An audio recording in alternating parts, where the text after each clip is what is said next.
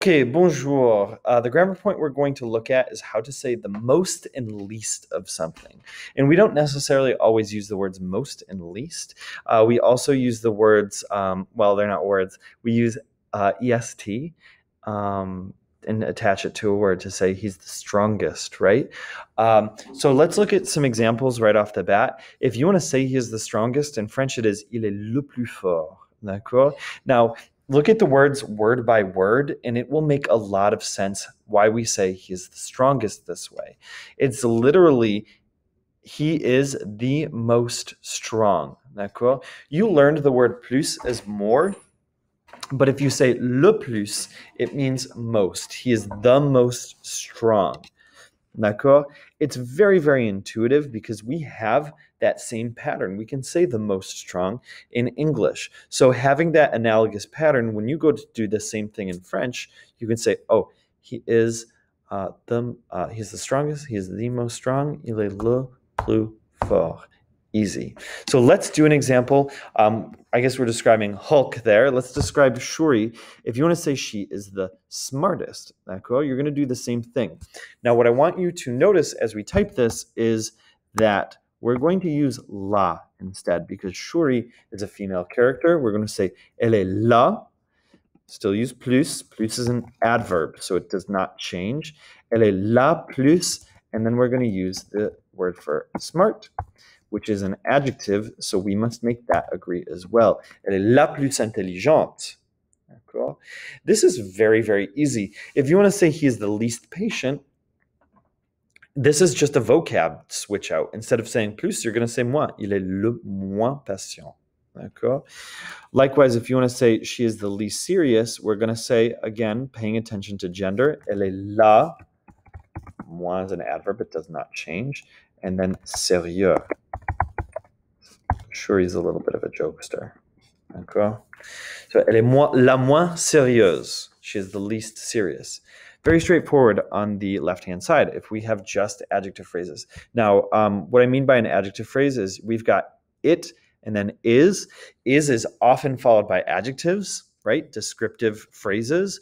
So uh, it is, and then the adjective phrase to describe it on the other side, or excuse me, he. Cool. Now, um, it gets a little bit more complicated when you have a full noun phrase. Rather than saying the strongest, we want to say the strongest man. Cool. So, so to say uh, he's the strongest man, we're going to say c'est l'homme le plus fort.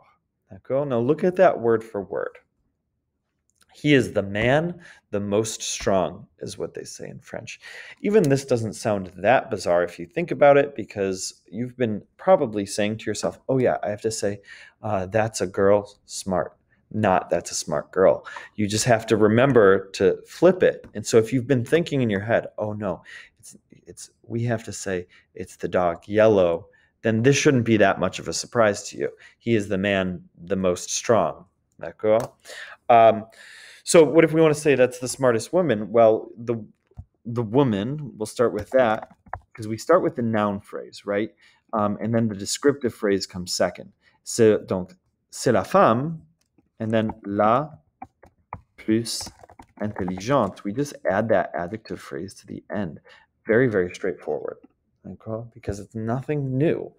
Adjectives comes uh, adjectives come after nouns. So if you want to say he's the least patient man, again, we're just switching out vocab at this point. L'homme, or c'est l'homme le moins patient, the least patient. It is the man the least patient. Now, if you want to say she's the least serious girl, you want to say she's the girl. I've been using femme um, instead of fille. Fille means girl. Femme means woman, but that's fine. So we'll say c'est la femme, um, the least serious. Like, or she's the woman the least serious. C'est la femme la moins sérieuse. C'est bon? Okay. Now, uh, the only way that it's going to get a little bit more complicated um, is there exists what we call pre-nominal adjectives. So up here, I labeled these, and I don't know if you notice, post-nominal adjectives. That means after noun. Almost all adjectives in French come after the noun. They're almost always post nominal. We also call them post positive. Um, there are a few, and just a few, you may have noticed in different worksheets here or there that there's an adjective coming before the noun. Um, that is a thing, and there are a few that always come before the noun. So normally in the junior high, you learn those. Unfortunately, you did not this year because of COVID. So um, that puts us, you know, in the situation where we have to learn them now. So you've got haut, petit, grand, gros, premier, joli, beau, autre long, mauvais, bon, jeune, vieux, nouveau. Those adjectives always come before the noun. You'll almost never see them after the noun. D'accord? So, um, haut means high, petit, grand, gros, premier, joli, beau. You should know. Autre means other. Long, mauvais, bon, jeune, vieux, nouveau. You should know as well. D'accord? All right, so let's look at an example. If you want to say that she's the cutest woman, the wor- word for cute is jolie, d'accord? Or that can also be pretty, d'accord? So if we want to say she's the prettiest woman, um, we're going to say c'est la plus jolie femme. Now, something you're going to notice here is we only have one la this time, d'accord? So there's only one la if you use one of these adjectives. When we just say the most uh, pretty woman, the most pretty woman. D'accord? La plus jolie femme. So it's different because you don't need to repeat the article like we did above with la femme la moins sérieuse. So there's one fewer word than up above. D'accord? Likewise, if we want to say he's the least small man, we're going to say c'est le moins petit homme. D'accord?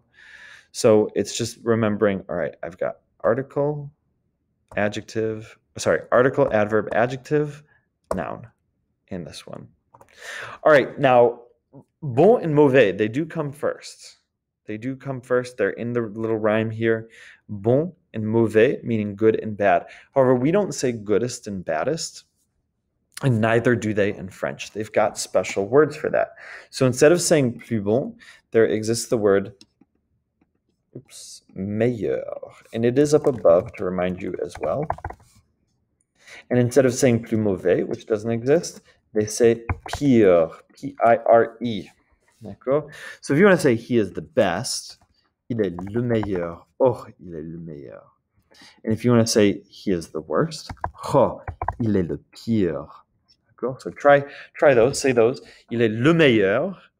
And make sure you pronounce meilleur correctly. Notice I do not say an L sound, it's a Y sound. Il est le meilleur. D'accord? And il est le pire. Practice your R. Now, let's say you want to say that's my best friend. D'accord? All right, we're going to use mon instead of the article le. I'm going to describe my best friend. The guy. D'accord? So I would say il est mon meilleur ami. Il est mon meilleur ami. However, if you'd like to write um, my best friend as a female, you can write elle est ma meilleure amie. D'accord? Those things will still all agree. Now, what if you want to say that is the worst enemy? Say, all right, so we're just using le this time.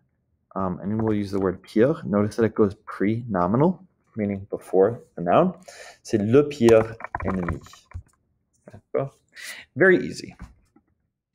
So um, going down below, first we're going to practice adjective phrases. This is the section that's a little bit easier. We've got a word like faible, which means weak, and you want to say, um, my friend is the least weak in science. This is easy because if it's the adjective phrase, we just need to say the least weak, right? The weakest. Oh no, no. He's the least weak. He's the so he's um actually quite good. or uh, or he could be. He might be weak, but just the least of the, the weak ones. Anyways, um, we're going to say he's the least weak. Il est le moins that's where it gets so so tricky because I you notice I was tempted for a second to say he's the weakest, and I was like, wait, no, no, no, it's not. He's the most weak. He's the least weak. So you do have to pay attention to that, whether which words you're using. C'est bon. All right. The only one that might throw you for a loop here is number two, because you do not use the word uh, bon, right? Plus bon does not exist. So remember, go back to your notes and remind yourself, what do you say instead? All right, pay attention to most and ist. versus least. All right, let's do um, one down here. So um, this is where it's a little bit harder. If we want to say she's the cutest girl, I shouldn't have um, had that as an example on the front then. So notice that I marked that it's pre. So it's going to go before the noun phrase. That means we're going to have four words instead of five. So I have to use the word la fille and jolie. So if I'm saying she's the cutest, we're going to use plus. And then we can add the word jolie. Notice that I put la already to make it feminine. I have to make this feminine too. La plus jolie fille is the most cute girl. D'accord? We're going to do another one together. Um, these are the most unfair rules. We've got the word for unfair there, and we want to say it's the most unfair. So, let's see. We're going to start with the plural lay. Is this a prenominal adjective? No. So the adjective and the plus will not come next. Those will come at the end. So we can actually just say these are the rules and then say the most unfair. Les plus injustes sont les règles les plus injustes. All right, you can check your answers online.